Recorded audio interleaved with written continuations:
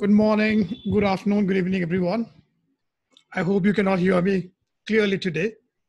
Um, Halloween is uh, just around the corner, and uh, you know we got very lucky uh, with this particular session of ours to uh, make sure that this particular session was you know, special for all of us. We were able to get uh, a fantastic author, Phil Barden. Uh, the book we will talk about is uh, still the beast is feeding. and we're going to talk about 40 years of the Rocky Horror Picture Show. It's a fantastic movie. It came around 40 years back. Tim Curry and Susan Sarandon. Science fiction. Ooh. And uh, Perfect. all right, guys, couldn't resist that one. But that was one uh, uh, funny uh, thing which happened when I was searching for the other books because I wanted to read uh, what else Phil had written. You know, I got my hands on this book, guys. Uh, those who can uh, take a look, it's lovely, feels fantastic. Um, we will discuss the book in details. And uh, the lovely thing about this particular book was like uh, there's a certain almost gravitas you can say to it when you hold it in your hands you can feel it's different and phil said uh, told me i think there was a reason behind the way the book is and if we remember from one of our last sessions with uh, Brie William, uh, she said it, it's kind of funny how many folks in the world of behavioral science and behavioral strategy don't seem to be using behavioral science when it comes to presenting their own work. And I think this book is a perfect example of how you should present your work with the quality of paper, the colors, and the way the chapters are arranged, right? When each chapter ends, you have like short takeaways. So you can read, uh, and then uh, you got your blurbs out there for cognitive ease. And say a week from now, whenever you want to do a quick recap, you have all the important points, uh, you know, marked out there already for you. Six months down the line, you want to again revisit the book. You can straight up go down, go down to this uh, end of chapter summaries which are like what we have learned in this chapter and what this means to us as marketeers. Overall, fantastic book. Uh, please welcome Phil out here, Phil Barden. Um, Phil has had a fantastic career before uh, he uh, joined Decoded as managing director UK. And uh, his book, Decoded, consistently ranks as one of the best uh, books out there on behavioral science, as well as books on marketing. Uh, it came out almost eight years back. And uh, by looking at the reaction of people who realized Phil was joining us, and with all the posts we started going around, we realized people still very much are buying, reading, and are looking forward to this event. Phil, welcome to the Behavioral Science Club. Thank you. It's a pleasure to be here. Thanks for inviting me. Um, guys, we'll do the usual thing. Uh, I'll start up with a couple of questions. Uh, today, Michael is going to be co-hosting, uh, and then, uh, you know, as usual, very soon we'll start taking up all the questions from the audience. Uh, Louis is going to start. Um, Louis is going to start making a note of them, and uh, so Phil doesn't have to worry about keeping an eye on the questions separately. Right, we'll make life easy. So please keep those questions coming. Uh, so Phil, as I was reading the book, right, um, right there in the beginning, you had a fantastic story. Uh, it goes around mental models, and uh, it ties beautifully to what happened in around 2010 with uh, the dance campaign, right? I think we want to start the uh, the day today with uh, going back to that campaign. What was happening there? What was Phil Barden doing just before that? And you've been mm. working almost since the 80s, 82 um, in the field of marketing. So you, you talked about how you have built a good amount of uh, mental models till you reach a particular point in life and you had a certain realization. Can you please tell us more about that? Yeah, sure. Yeah, so I I, um, I spent most of my career in marketing at Unilever, which, as many of you will know, is almost like a marketing university. You know, you are like Oxford or Cambridge, you go to Unilever or Procter and Gamble, and um, you certainly get trained very well. And that probably breeds a little bit of dare I say, arrogance that you know it all, that you know how brands work, you know how communication works, you know how how to influence behavior. Um, so I, I felt I knew a lot. And I then went to Diageo, spent a few years there. And then my last client side role was at T Mobile. Um, and uh, I was the VP for the brand uh, in Europe. I had to relaunch and reposition the brand. And I spent a huge amount of money and a lot of time uh, deploying a research technique that I'd used at uh, Unilever um, to understand the categories and the brand uh, around in 14 different European countries. Um, and it was the results weren't making a lot of sense. And it was causing a lot of frustration with the local operating companies and the vendor, the research vendor, couldn't couldn't help. They just said, "Well, look, you know, the results are what the results are," um, and I was really worried because I'd, I'd persuaded the business to invest heavily. I mean, like six figures, um, high six figures in in research uh, fees. And um, someone introduced me to a couple of guys from deCODE uh, in Germany. It was founded in Germany, and I met these guys and one of them is a neuroscientist and the other is a cognitive psychologist and um, i thought i'd just try them out. So i, I just i met them i asked them a few questions. Uh, you know i've got this ad here it researched well and yet it's just not working in the market. Why do you think that might be? And they looked at the ad and within 20 seconds they gave me an answer that sounded incredibly plausible. So i tested them with a few more things and each and every time they could explain what was going on and why something was working or something wasn't working. And, uh, and I asked them, how do you, well, tell me, what are you, what are you employing? What are you using to explain this? And they said, well, what we know about human behavior, and don't forget that science and academia have been studying human behavior for decades. And so we're using what's known. Uh, and I said, Well, that's amazing that you guys know this. And they said, No, what's amazing is that you don't know this. And that was quite a, a sort of a smack in the face for me because I, I thought, I, hang on, I do know this. You know, I spent a lot of my years as a, as a managing brands in Unilever. Um, I know this stuff. And, and yet there was a whole different world um, of explanation. So the long and the short of it was I, I at great personal risk, I cancelled the research program that was ongoing and commissioned deCODE to run their version of, uh, of understanding motivations in the category and the brands uh, around, around Europe. And they used a completely different research technique, so-called implicit testing, which grew out of social psychology because social psychologists had known for 30 or 40 years that what people say and what people do can be very different things. And yet, I'd never ever heard of this in in marketing, in consumer research in marketing. So they explain kind of the the um, the paradigms and, uh, and and the concepts behind it, and it seemed to make sense. They then explain how they knew from their work how the brain makes a decision, um, how the brain values different brands as being a, a, a strong or a weaker fit against certain goals. And this was a, a, a new concept to me as well, a new mental model.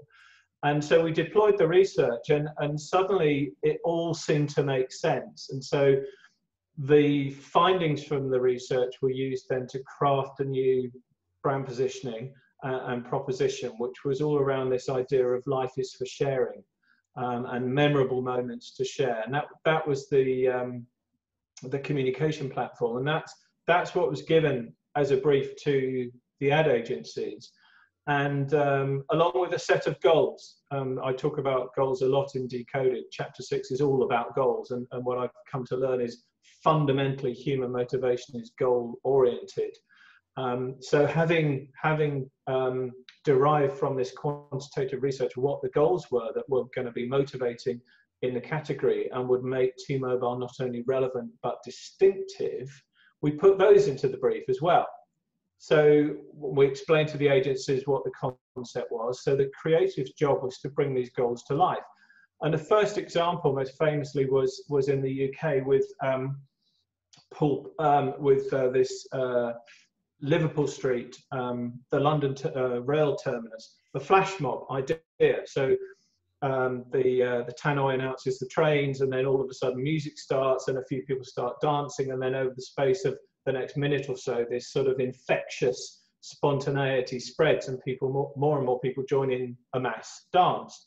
Um, and the really interesting thing was that that ad doesn't show any product. It didn't talk about price or promotion or, or, or network coverage or call quality.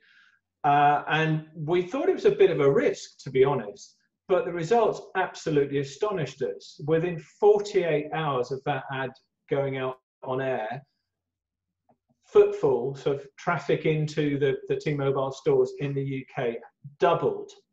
And the sales director and the sales teams contacted marketing and said, why didn't you tell us that you'd booked all this local store activation activity? And we said, well, we didn't tell you because we didn't book any. There isn't any local store activation activity. Why, why are you asking?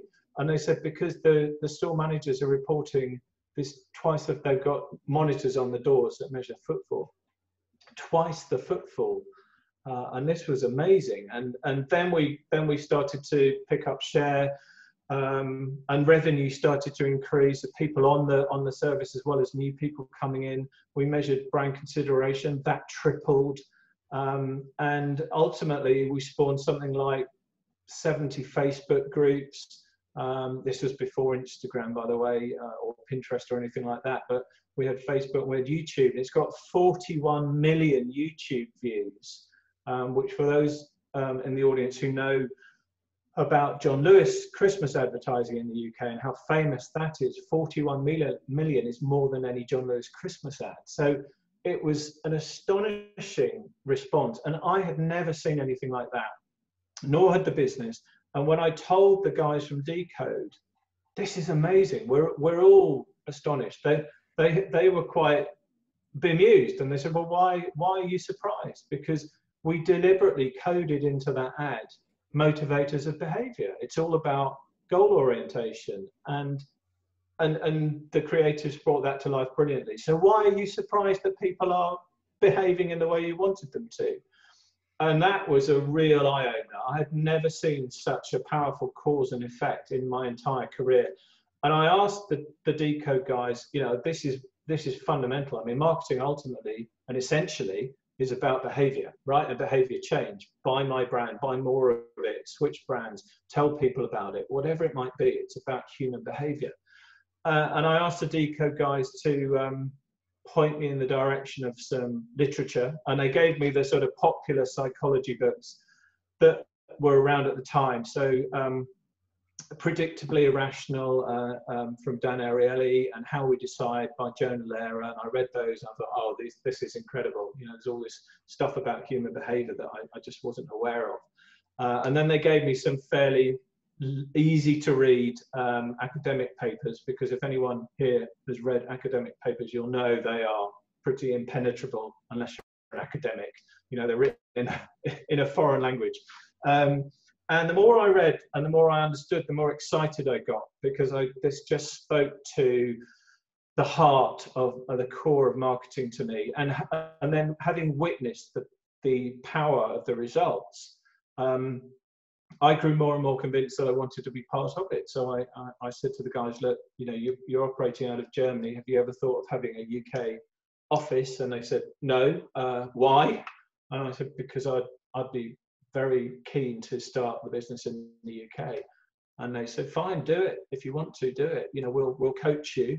Um, I'm not a scientist by background. Um, that, that may have helped actually writing Decoded um, because I've come at it very much from a uh, marketeer's point of view and a, a layman's uh, point of view. So I hope I've managed to sort of explain concepts and things in a way that, that is readily understandable. But but it along the way, what they told me and taught me and what I read, really, some of it was easy to grasp. A lot of it was very difficult to grasp because it it challenged years of uh, of my own mental models that I'd grown up with, and and I now know there's even a name for that, the Semmelweis reflex, which is the the tendency to reject new information if it contradicts our existing mental models, and that's because we are all prone to our the power of our own system one, right? Implicit system, which the tendency is to default to the status quo, and that's why change management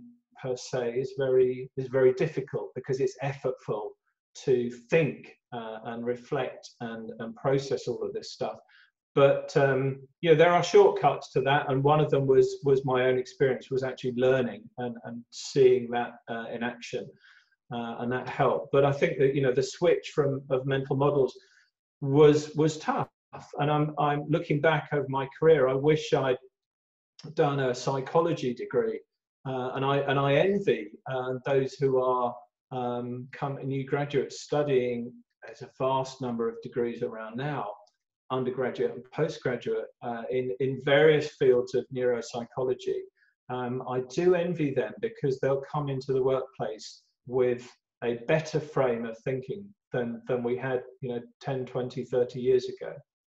So that's a bit of a long answer about a T-Mobile dance, but I hope that's kicked that, that was the perfect answer, uh, Phil. So uh, uh, the thing about our group is uh, you have members across the range. We have people who are professors and PhDs in this group and double PhDs and running their own podcasts. At the same time, we also have people who just know the word nudge and right. they don't okay. really know what nudge means and they're starting in their journey, right? And for them to find out uh, or for them to realize that you picked it up working with a group of scientists working with with certain books and then you found a way to make this a fantastic career write a phen- phenomenal book about it uh, while you do while you are saying you know you envy the ones who are coming down with a degree and the knowledge because it gives them that fantastic head start i think it also gives a lot of confidence to people in the group to say well i think that's i think we can also pick it up not all of us will be able hmm. to go and do a master's or a, or a PhD in it. Now, mm. which brings us to the next question. In your book, you say, and it's a scary survey that you mentioned, uh, around 1,200 CEOs from North America, Europe, and APAC who were surveyed, and almost 80% of them said they believe marketeers are disconnected from business results. And this, these are CEOs who are saying this about their teams. And I'm assuming this was around 10 years back. Now, in, in the last decade, we've had a lot more people winning Nobel Prize for behavioral economics. Uh, it's pretty much uh, out there. People know about it. There are phenomenal fests around it. Uh, almost rock star writers, and you know they've almost become celebrities in their rights. When you today work with uh, folks through Decode, and as you talk and you speak with uh, marketeers and CEOs, do you think there has been a change out there or or are we still going with this old mental model like AIDA and hierarchy of needs uh, can you mm. please tell us about that more yeah that's a really good question i i i see from my work with clients and what i read uh, in the industry press i think there's a real mixture i think generally there is far more awareness now of um, the whole, all of the behavioral sciences. Um, but there, in my view, there's still a lack of translation of the theory into practice. There's a lot of people talking theory still, um, but when it comes to, so what do I do? How does this help me sell more or retain customers or whatever? There, there's still a, a, lack of application. Um, but I also see a continuing trend in marketeers, and this this has been going on for a long, long time. Um, someone had the, I heard a lot the phrase was marketing is the dog that barks at every passing car, and it's almost like you know when there's something new, we jump on it. You know whether it's whether it's Instagram or TikTok or, or whatever, we kind of we, we pile it or brand purpose or whatever it might be. There's a kind of flavor of the month or flavor of the year and people jump on that. Um, and I think, I believe they lose sight of some of the fundamentals. It's like, yeah, fine, you know, embrace, embrace new uh, media and, and channels, that's absolutely fine. But why are you doing that? They have to serve you in some way. What what's your what's your core objective? You know, ultimately you have to sell more stuff. You're helping the business generate revenue, which is its lifeblood, and you and the business has to be sustainable in the long term. And you may tactically choose different ways of doing that, but ultimately this is about human behavior. So don't obsess over stuff that might be gone tomorrow. Obsess over fundamentals, and that's where I think um, trying to get behavioral sciences into maybe some formal training within companies and, and with industry bodies can only be can only be a good thing. Thanks a lot, Phil. That's a great introduction, and thanks so much, Prakash. And uh, I can't say I'm not disappointed. I thought it was going to be a Rocky Horror sing along there, but uh, we'll do that later, yeah, absolutely. That would have just pressed my button. Okay, mm-hmm. um, but yeah, you're very welcome, Phil, and you're welcome everybody here today as usual. It's great to see so many regular faces, and it's great to see new people joining us. And if you don't mind turning your camera on, we'd love to see you. And um, so I'm going to hand over quite soon to Michael. Michael's got all of the more technical questions in relation to the book. But Phil, we had a little chat in the week, and like Prakash said, I think it's actually really appealing to our members, your story that you came to behavioral science and the realization almost later in your career because it gives you know that gives such hope to people who are very keen about behavioral science but don't have an academic background. So i think that's a very uplifting story to share. I'm also interested in maybe your views about having worked in marketing first and we talked a little about your early career. Do you think that um, people coming new to marketing now who come on a very different journey because it's a digital journey now, as opposed to the traditional journey of, like you say, things like going out to factories and things like that. Do you think it's all better, or do you think there's anything lost? I think it's just different, and I think it it still boils down to whether one is selling a product or a service. Um, and if you're selling a product, I, I would argue there's no substitute for getting experience in other parts of the business that marketing inevitably touches and tries to influence. So when we talked, you know, I said I spent six months in a biscuit factory and then six months selling biscuits uh, out of a car in South London because I knew my career initially was about marketing biscuits. So I was going to be making, asking the factory to make changes to packaging or, or whatever. And I was going to ask the, the sales teams to do certain things. So having had, albeit relatively little experience compared to the people who worked there for years, every little helped. It gave me a better appreciation for the impact that marketing has across a business. Um, and it also helped me speak their language a little bit. And, and, I, and I felt genuinely um, gave me a bit of an advantage versus people who hadn't had that experience. I think it's different if you're selling a service. I mean, you know, you have to use the service. You have to try and be a user of the service or ask friends or family who are using that service or similar services in order to try and get uh, the same sort of hands-on experience, if you like, albeit intangible versus versus tangible. It also depends fundamentally what the role of marketing is in a business um, because you know I've worked in in companies where marketing was you, you, were like managing director of the brand. You were profit accountable down to down to gross margin level, and that meant you were very much the the hub in the center of the wheel. And I've worked in other businesses where marketing's job is just advertising and communications, uh, with with hardly any uh, relationship to product or customer experience or other brand touch points. So I think it it definitely depends what role uh, marketing has uh, in the business.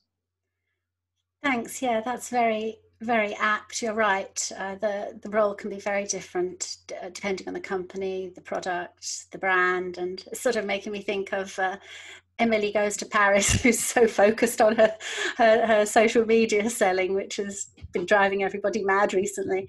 Um, so I'm going to quickly hand over to Michael now. As Prakash said, there's many fans of your book out there, and um, Michael mentioned to me straight away that it was a book that he really had enjoyed and got a lot from, as I'm sure other members have.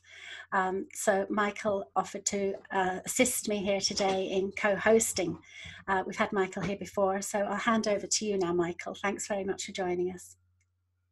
Thanks, Louise. Can you hear me okay? Yep. So uh, I pretty much begged Louise and Prakash to be able to do this. Phil, uh, it's a pleasure to meet you. Your book is superb. It's probably my favorite um, of the books in that kind of world right up there with unconscious branding, neuro design, those kind of books. Um, got my copy here. I've got it's full of underlines, and I had a whole bunch of questions I wanted to run by you. But the first thing that I thought I'd ask is um, for people that obviously haven't read the book yet and aren't familiar with this method, the decoded method that works so successfully, I want to give you an example of something that happened in the real world to me recently and get your take on it and maybe how you would approach that problem using this method. So mm-hmm. I work for a uh, managed service provider here in Southwest Missouri, and um, they they found out that their clients were very nervous about being locked into long-term contracts. And we have to do that, unfortunately, just to, to derive maximum value for the clients. It sometimes takes some time. But they did something very odd. And I remember when they did it at the time, and I just finished reading your book, and I thought, I don't know about that. I'd love to know what Phil would make of this. They sent boxes with handcuffs to each of their um, prospects saying, We promise we won't lock you in. And I just like to get your impression of that because it struck me as odd because the first thing I thought is if I received a pair of handcuffs, what's the first automatic association I'm going to have? Well, it's being trapped. So mm. I'd love to just hear more about the method if, if it's possible and maybe mm. relating it to that example, how you might maybe tackle something like that. Firstly, thank you, Michael. Likewise, it's a pleasure to meet you. Thank you for your very kind words uh, about Decoded. Um, my visceral reaction when you gave that example was exactly the same as yours. If I'd unboxed a pair of handcuffs, the most salient associations and what happens immediately in, in, in your associative memory is captivity uh, and constraint. Um, even though the line is, you know, we promise not to lock you in or, or whatever it was. Um, I my personal view is it would backfire because it's because it's actually it's a tangible signal and this is very important for the brain. It's not like we're trying to imagine something. You have actually presented someone physically with a pair of handcuffs and tangibility is something that the autopilot system one responds to uh, very much. Uh, so it's a real signal um, of, uh, of constraint. So yeah, I wouldn't have advised that one. And let's say you were advising a company to go through this process. What are the kind of things that you would do? Would it would it mainly start with trying to do some kind of a, a implicit bias um, association testing or something like that to try and figure out in that world what are the positive things that people have associations with, and then and then mm-hmm. kind of link that to uh, copywriting or to branding, that kind of thing. Yeah, I mean, we, we always start with um, what's the behavior you're seeking or what behavior are you trying to change so that we, we can try and understand what, uh, what barriers there may be to, uh, to change. Um, and we also always start with the fundamental concept, which is in decoded, of um, reward minus pain. So for people who haven't read the book, basically purchase decisions are based on, on the net value which the brain computes subconsciously in, in milliseconds between the expected um, reward uh, that I'm going to get. So, what crudely, what's in it for me, um, and the pain involved in acquiring the reward, which is a mixture of uh, a combination of price and behavioral cost. So, the time and effort involved in, in acquiring the reward.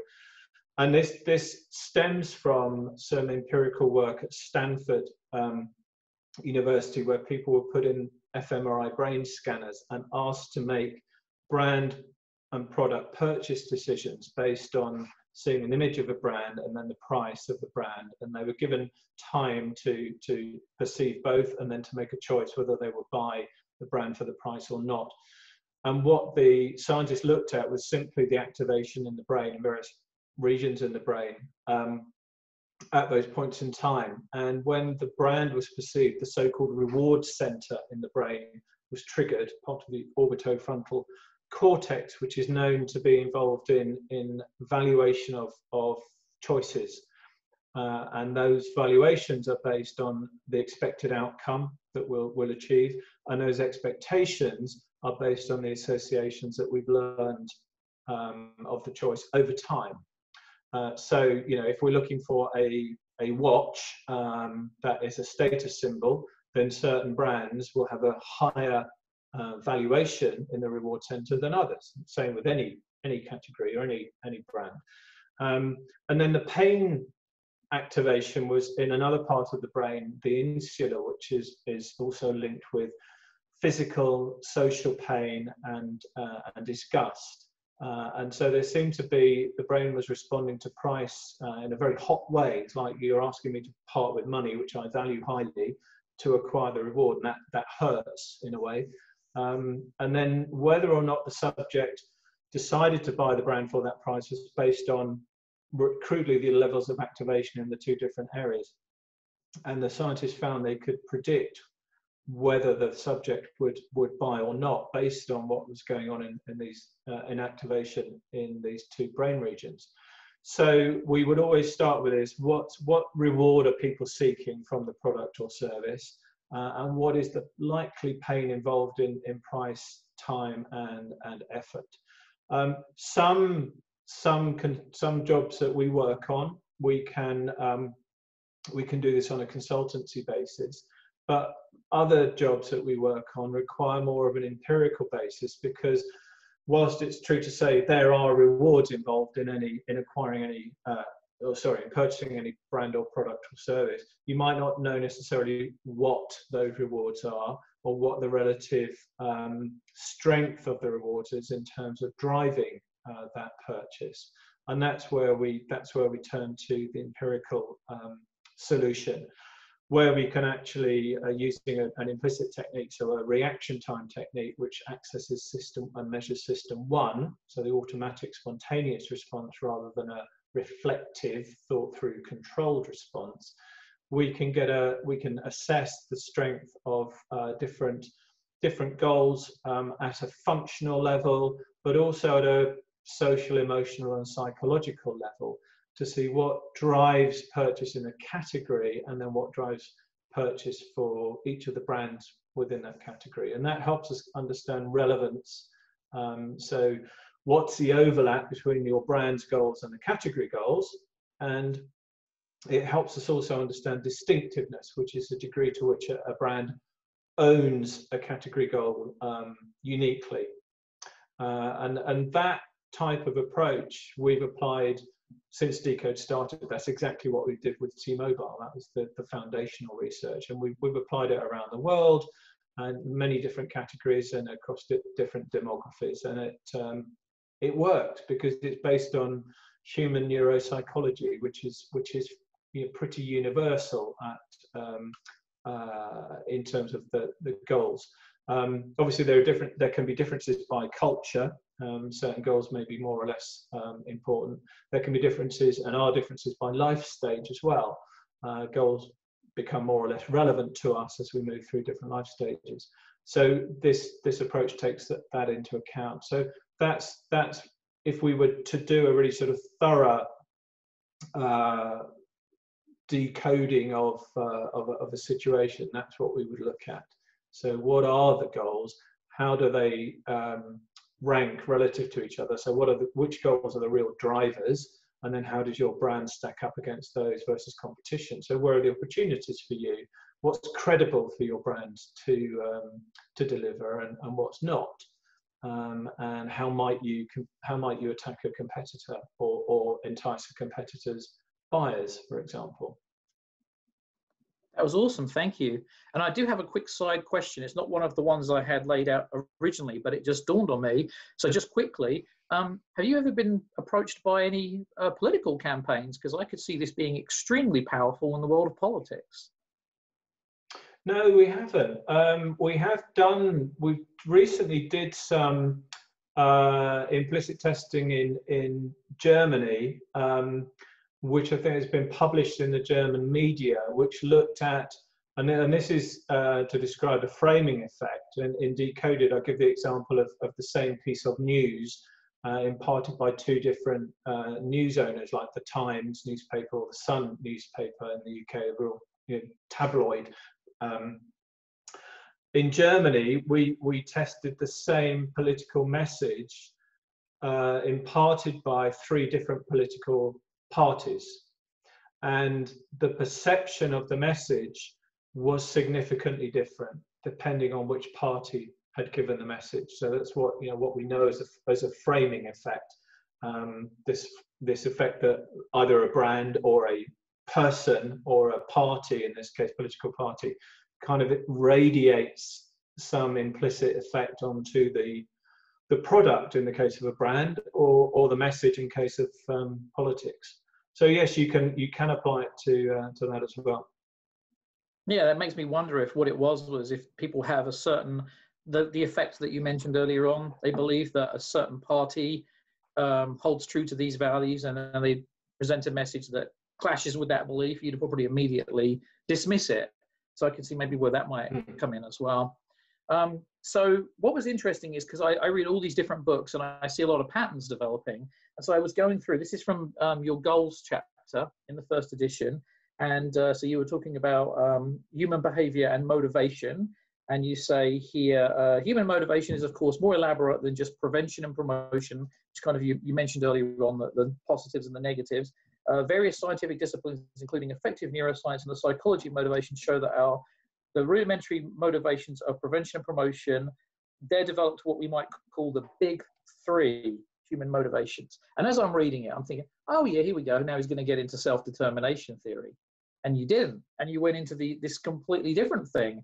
Um, so instead of um, what is it, autonomy, um, relatedness, and competence, you did security, autonomy, and excitement. So I'm very intrigued to hear where that came from, and if you've even looked at self-determination theory and how you balance the two against each other, if you throw mm. self-determination theory out, that was new to me, and I found that very interesting. Mm. No, thank you. Yeah, the um, the model that we use, which is in which is in uh, chapter six uh, of Decoded, comes from a number of sources. Um, most of them are social psychology.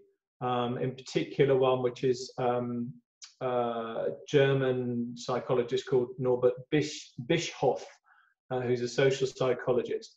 Um, but because our founders come at this from two different disciplines, one from psychology and the other from neuroscience, it also built in affective neuroscience as well. So we've got something like, uh, I think it's about eight different sources that all tend to, to show very similar things. They might talk about these three, big three in slightly different ways. They might give them different names, for example. So autonomy, someone else calls the rage system. Um, but at, at, at, its heart, it's, it's, there's a massive amount of overlap. And that's what really appealed to me as a marketeer. This was where it seemed to me that a lot of scientific and academic fields were correlated and, and and overlapped in their in their thinking and, and, and agreement. So um, self-determination, yes, we would we would class that as uh, within the autonomy territory. What I don't do in Decoded, because uh, it's our intellectual property, is give the full detail of the content of each of the fields within our six field model. So whilst we've got the big three, which is, as you say, excitement, autonomy, and security. Within security, for example, when we're doing any, any work, whether it's quantitative or, or consultancy, we look at security in term more holistically in terms of things like caring for yourself, caring for others, closeness, warmth, belonging, trust, tradition, protection, reassurance. So there's 10 I've just named off the top of my head. We've got roughly 20 um, goals that we that we have in each of the six uh, fields that we use when we're doing our, our work. Um, so yes, I'd say it's as far as I'm concerned, it's pretty comprehensive. Thank you. And my final question before um, Prakash and Louise open this up for the overall Q&A. Tell me about the second edition. I've been waiting for it for so long. Tell me all about it. I, I, I, read the blurb that I found on Amazon and I saw apparently you guys are bringing in jobs to be done theory. So I'm really interested in hearing like, when can we expect yeah. it? What's the new material and what kind of stuff have you guys learned since you wrote the first edition? Thank you. Yeah, and I've, I've been waiting. don't talk to my publisher. They've been waiting for it for a long time as well. Um, unfortunately, life and, and work have, have been getting in the way somewhat, but but it's it's it, the revisions and updates are nearly complete. So the the things that I've put into the second edition, largely based on feedback from readers. Um, firstly, there's going to be a bit devoted to business to business because a lot of people have said to me that um, the majority of examples that I give are business to consumer and consumer brand. But what about business to business? You know, surely that's different. It's so-called uh, more rational than, uh, than than anything else. So there, there, there'll be a large bit devoted to, to B2B, um, which is fascinating. I mean, just to give you a kind of headline, you know, it's it's business to business, but it's still human to human, right? And it's the, the um, Rory Sutherland has done this lovely bit with the B2B Institute on LinkedIn. He's written a paper called The Objectivity Trap, and I'm and I'm going to quote from it because some of his phrases, typical Rory, are, are wonderful. He talks about the the myth of rationality, the fact that we assume that as soon as someone puts on a suit and arrives in an office, that suddenly they, they kind of swap brains and they become immediately homo economicus with access to perfect information and they're not prone to any cognitive biases at all. You know ignoring the fact that they've they've been exposed to b2c communications they are a consumer themselves etc etc but of course there are big differences you know the the nature of the decision is often a lot more significant both in terms of um, corporate and personal risk there are many more people involved in the decision than buying a packet of detergent and um, uh, the whole matrix. You know, who is this? There are many stakeholders, and who, what's driving each of the stakeholders as well. So, you know, relating it back to goals and reward and pain. Um, so that that that's that's one bit.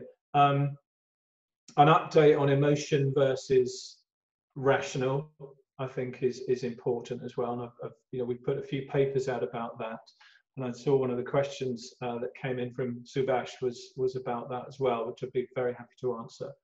Um, jobs to be done is expanding on that, which I introduced um, uh, in in Decoded, and it's it's something we're using increasingly. It's quite a nice nice way to think about this. I think you know Clayton Christensen conceived the idea that that we hire products or services to do a job to be done. You know, famously, we don't buy a quarter inch drill because we want a quarter inch drill. We need a quarter inch hole to be drilled. That's the job to be done. Um, and then and then working back to the associations that brands have with the instrumentality, greater or lesser than each other, to to help us achieve that job. So that that's another part um, that that will be updated quite a few new cases and studies, uh, some that we've run ourselves um, as well, which I think are interesting, where we've looked at um, a case we've done with, with Ferrero, the confectionery company, looking at how people respond to different um, point of sale visuals in terms of reward center activation in the brain. We found a, a strong and positive correlation between reward center activation and actual sales um, caused by those visuals. So the big testing protocol looking at putting these different visuals in, in stores. Um, so that was one thing, but then we also linked that within. um, implicit testing of the brand to find out what the associations are of the brand and implicit testing of the visuals to find the associations of the visuals. And we've got it's a lovely um, story that uh, that all works together that the associations we've learned to, uh, with the brand over many years um, are fit absolutely with the associations that are conveyed by these different point of sale visuals. So the one that has the strongest fit with the brand was also the one that activated the reward center the most, and that was also the one that sold most. So you know we've taken the what is theory and absolutely proven it in in practice as well. So yeah, those um, those are probably the, some of the notable ones. Uh, update, quite a big update on distinctive brand assets as well, which has become in the intervening years more famous thanks to uh, Byron Sharp and the Ehrenberg Bass Institute. So I mean, we do a massive amount of, of that testing as well uh, globally. So I'll be introducing some of the findings from from that too. Fantastic. Well, thank you so much for your time today. It's been a real pleasure to meet you and to have you answer these questions. And I'm going to turn it back over to Louise and Prakash now. Thank you, guys. By the way, Prakash, I love the new hairstyle. I think it's awesome. Suits you really well. I follow the lead of Tony. Thanks, guys. Thank you, Michael. They were excellent questions and um, superb answers from you, Phil, and makes us all now think we're going to have to buy a second book of yours. So I'm sure you'll be delighted mm. about that. and um, so you mentioned that you'd noticed uh, the question there from Subash, who today wins the prize for the most questions in one post. I think I can count about five different questions there. But maybe Subash, you'd like to take yourself off and, and choose one of them. You can't have all five. Absolutely. Oh, that, that's thanks, uh, thanks, Lewis. And uh, I mean, Phil, uh, I mean, uh, good evening from India. Okay. I have a question. I'm going to reverse the entire order. So, Phil, what's your point of view on the book Absolute Value, which they build a very strong thesis against brands, not to say from, um, in, from the classical sense? Because a couple of days back, I went through that process where I chose an Indian brand who was half the price against a German brand. And because the reviews were so startlingly different and the price difference was so big, so I want to, is our brands losing its value where information is becoming more democratic in nature? Phil, what's your, what's your take on that? That's interesting, Subash. Thank you. I confess I haven't read the book Absolute Value. Oh, okay. So I'm going to have to respond to your question, but I'll put it on my list for uh, for reading. Um, it from what you've said, uh, the answer is it always comes back to reward minus pain, perceived reward versus perceived pain. Um, and very often we will switch brands if the equation tips, if it moves. Um, so if if um, if the difference in pain is significant, as you've outlined there, in terms of price difference, then we are willing to make a trade-off in reward you know the, the brain always sees price as a signal of reward itself and there's kind of it's commensurate re- with reward but there comes a point where you think well come on it can't you know it can't be that bad. And um, and maybe if it's you know there could be other rewards involved with buying a, a local brand an indian brand versus a foreign brand as well. You might want to support local manufacturing and economy for example. So there are it it still comes back to reward minus pain. It's why we buy things on, on you know, we we we uh, we have one client who was whose brand was always on sale. They always their advertising was always our best ever price. Um, and our, our, advice to them was because they said our kind of our brand is being eroded over time and our, our quality perception. And I said that's because no one knows what your what your reward is. You know, you it we accept that brands go on sale. We accept flash sales seasonal sales, whatever it might be. But you can't keep your brand on permanent sale because you haven't ever anchored it at any particular price to know what its quality is. Whereas, so so in your in in your example, you have the German brand at a certain price has a certain price quality relationship. The Indian brand at a different price has a has another price quality relationship, and that may be totally acceptable. Right. So, but, but if it, to continue on that question, I mean, I think in absolute value, the thesis is built on saying that with what do you call platforms like Amazon and Yelp, even very small brands who don't have a legacy, it's built on reviews of customers. Yeah. So okay. the the classical notion of having a brand which uh, uh what do you call stands for value and trust it doesn't hold any good in the that's the thesis of the the book i'm not saying it's absolutely right Mm. but it's a it's a counter theory to the way classically people look at brands Yeah, yeah. No, that's interesting. I mean, reviews, um, you know, um, leverage social proof or social norms as, a, as a strong absolutely. heuristic. That that's that's very clear. And when we are uncertain in a particular category, we certainly look for security, and that's what reviews can can give us. That's, there's no doubt about that. I think a lot of it depends on the complexity of the category, because when um, uh, if you're faced with complexity of choice, and often when you when you do a search on the internet, um, and a classic example is looking for insurance comparisons, you get the results back, and there are hundreds. And what people tend to do under those conditions, because their pilot system, system two, is just overwhelmed and cannot process all of the all of the data and all of the information, nor nor do we want to, frankly. Yeah. Who here? Put your hands up, by the way, when you last got your Android or, or iOS uh, software update, you read all the terms and conditions before clicking agree. No, nobody, right? None of us do because it's too much effort. So when you get, if you're shopping, purchasing in a complex category, your system one or autopilot looks for shortcuts. And very often those shortcuts are things like reviews, also price. So in, in price comparison, what we've found is people tend to buy either the cheapest or the brand they know. And the cheapest, they might rationalize because it's got a lot of positive reviews. It's like, okay, I'm not taking a risk here, right? Lots of people have bought it. It's got it's got lots of positive reviews. I've never heard of it, but all these people can't be wrong. And that's the power of that heuristic. So I think that's that's probably the way uh, it works in that. I think that's correct. What you told is absolutely right. I'll I'll I'll take off the other as as Louis says. I'll take off the other questions I had for Phil. Go ahead. I mean, someone else can. Thanks so much, Suresh, and thanks for your Right. answers there, Phil. Yeah. Um, I have a question here from Jonathan. Um, I, can you hear us, Jonathan? You're not on camera, Jonathan Hercombe. Or I can go ahead and read the question.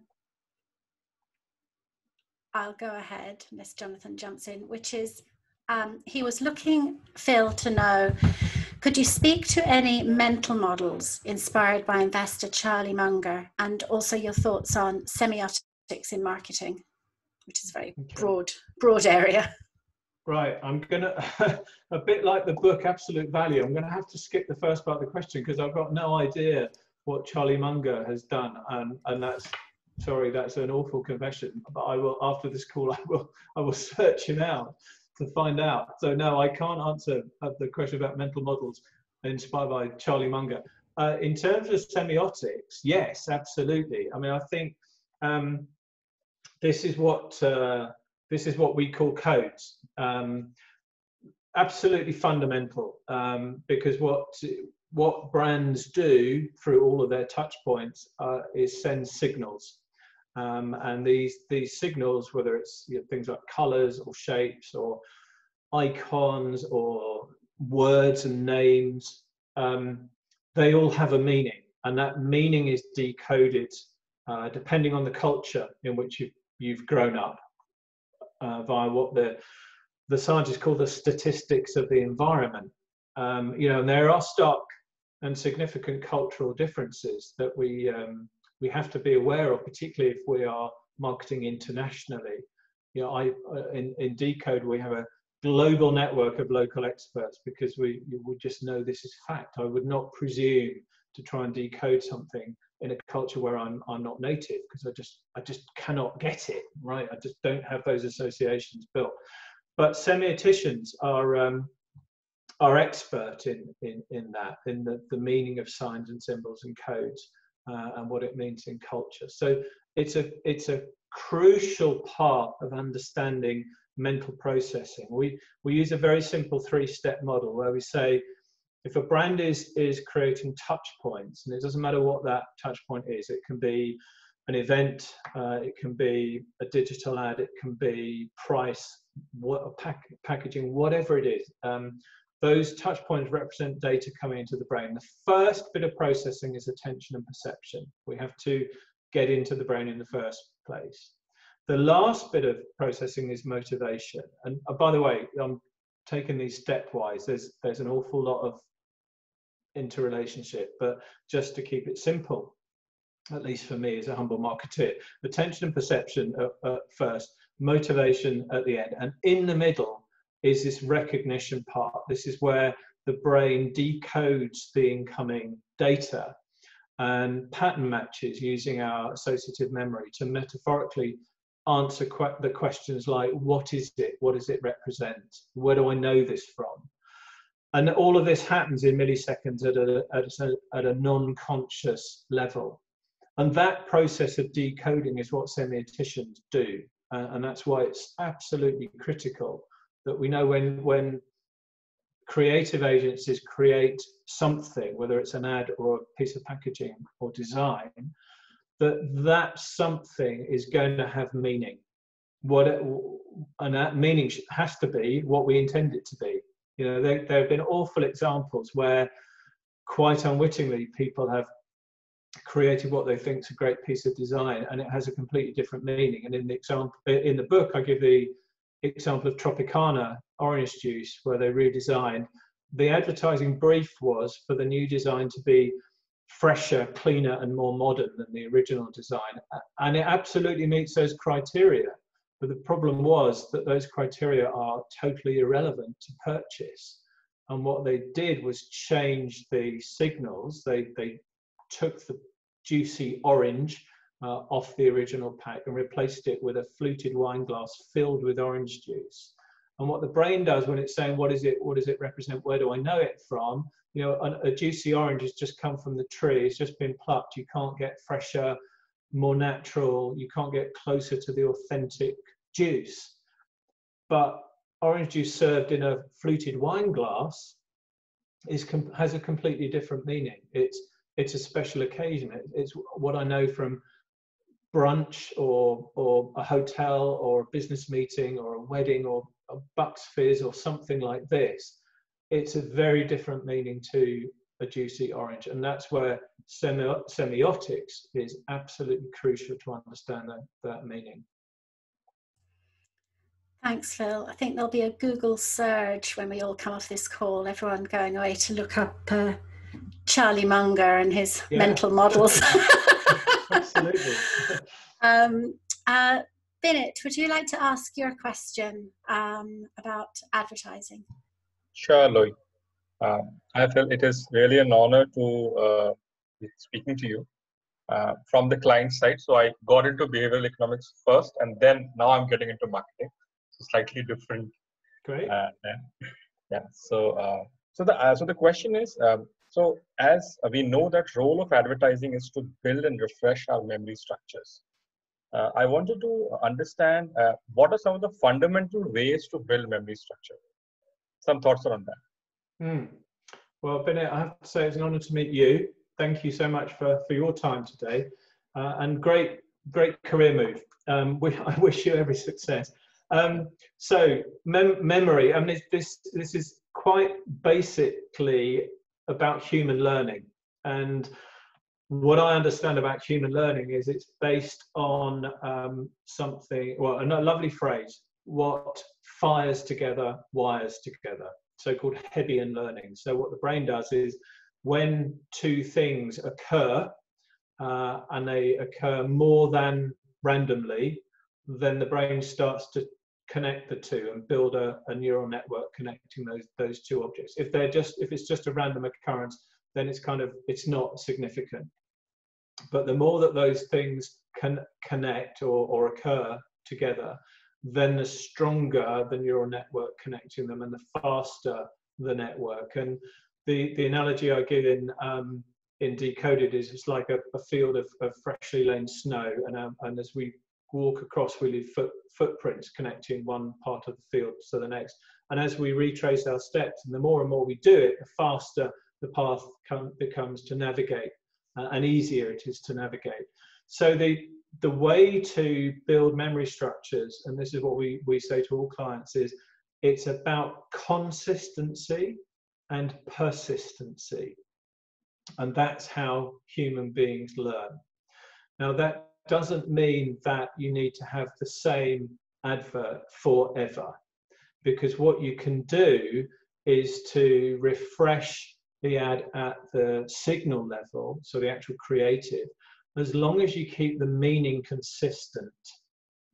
So, and, and the example I give in Decoded is, is Axe um, body spray, where whenever they, they have a new fragrance or they extend Axe into a different product category, they have fresh creative. But it all has the same underlying meaning and it's linked back to the same neuropsychological goal. So even though we you know we see something new and that helps with learning as well because we um, that neurons will fire when there's some novelty when there isn't and we kind of see something we expect then there's, there's no need for neural activity so you don't get learning but when you get some novelty then we get learning so oh Lynx has got a new fragrance Lynx has got a, a body spray or a shampoo or a body wash or whatever it might be so we learn something new we see some new creative which might be entertaining as well uh, and have a positive valence from that point of view. But conceptually, at the meaning level, we've kept that consistent. So we we reinforce and strengthen that that um, memory structure. And we know that memory structures exist for for a long time, um, but they can decay when they're not refreshed. Um, but you, you, we've you know there are lots of examples, and we've we've seen them with our own clients where clients have brought back or resurrected um, advertising lines or, or actual creative content that they haven't used for five years, 10 years, longer sometimes. And it just sparks up again. You know, the, the, the memory is still there. Uh, and you can do the same with, you know, with things you learn from, from your childhood. You can play a game with your friends and just, you know, start an advertising line and see who can finish it. Uh, and, and we can because because that memory that that associative memory structure is still there. Thanks so much, Phil, and thanks, thanks. for that great question, Vinette. Um, so I'm just going to take one more question because I'm aware we've come up to the hour now. So, um, Kathleen, would you like to ask your question?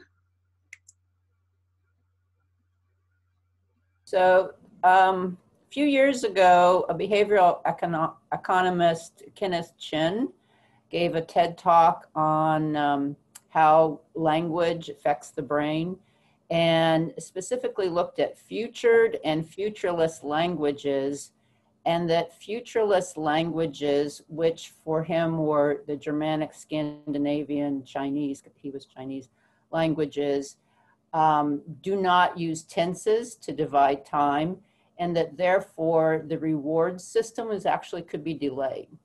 Whereas future languages like the Romance languages and English do divide time up and that we have a much, we do need have an immediacy of a reward system. And I was wondering if you'd ever looked into that. And or the fact that most Europeans who are educated can speak English, maybe that has modified that futured and futureless situation. Mm. Thank you, Kathleen. It's not a concept I'm familiar with. I have to say, I will, I will after the call defer to my uh, academic colleagues to find out more about Kenneth Chin. Um, I would think, from what from what you've said, though, um, because what, one of the things we know is that uh, immediacy is is something that system one or the autopilot responds to uh, more strongly than something that is um, less certain and, and, in the future. Um, so I would I would think that futureless languages. Um, it's an interesting concept, isn't it? Because if you have a futureless language, then presumably you can't ever position a reward in the future because the future conceptually doesn't exist. Um, so I wonder whether there would be a difference between the two. What he found, just briefly from the TED Talk, what he found was that futureless language speakers tend to save more money, tend to be healthier. Um, there were some other things. They, they just basically did not view the future as being way off. They viewed it as being just part of now kind of and right. so that they okay. they behaved okay. in ways that were radically different Ah, right. Oh, that is interesting, and and yeah, I can see that's that's totally plausible because we know there's a concept of so-called hyperbolic discounting, where we, if we have a future language uh, and and and a concept of of that, um, that we don't act in the here and now because the a lot of the pain uh, is is discounted to the future. So things like smoking cessation or dieting, you know, I'm I know smoking is bad for me, but yeah, it might kill me in 40 years' time. But right now, I'm enjoying the cigarette or the burger or fries or whatever it might be. So I can certainly see that, that that's eminently plausible. Yeah, it's a really interesting point. Thanks so much, Kathleen. That was a great question. And as always on these Saturdays, I'm going to go away, like I think a lot of you are, with scribbles all over my page of another half a dozen things to look up after the conversation. So um, it just remains for me to thank all of you for joining us again today. It's brilliant to see you all here and to send our thanks to Phil for his brilliant responses to all of the questions. Uh, it's been a joy to have you here, Phil, and you've been a most gracious guest. Um, and I'm just going to hand back to Prakash now to wrap up the event. Thank you, Louise, Michael, and uh, Phil. Uh, guys, uh, the book is available on Amazon. Uh, it's available on Flipkart for people who are shopping out of India. You got the ebook version too. It's fantastic. Uh, it's it's one of my uh, favorites from the world of marketing, from the world of behavioral science too, just because of the way the book is structured. Um, every time I want to go back, and I, I have been reading this book, I think like four years now four years back, I found Decoded uh, when I was doing my MBA. I keep on going back to the book, and it's very easy when you want to do a second or third read. Uh, you know, get your hand on it. And thank you so much, uh, Phil, for being a part of the Behavioral Science Club. And with your permission, uh, we'll probably put up this video online so that the remaining 2,200 people can take a look at it, and also people beyond uh, that number they can, uh, you know, uh, learn from this discussion today. And Phil, Eddie. Thank you. Well, listen, thank you, everybody. Um, it's it's a Saturday and your leisure time, so I do appreciate your time uh, in attending this. Thank you very much. Um, some great questions, and what I'd like to offer is, if I didn't answer your question, I'm very happy to follow up on email. If anyone wants to contact me on phil at decode marketing, that's all one word, decodemarketing.com. I'd be very happy to continue the conversation. Thank you, Phil. Um, and for all of us out here, stay safe, wear your masks. Winter is coming. Yeah, it's the yeah. flu season, so stay safe. Yeah. Uh, take care, guys. Thanks very much. Thanks Bye. a lot. Bye, Bye. now, everybody. Thanks, everybody. Bye, Bye Phil. Bye. Thanks, Thanks a lot, Michael. Bye.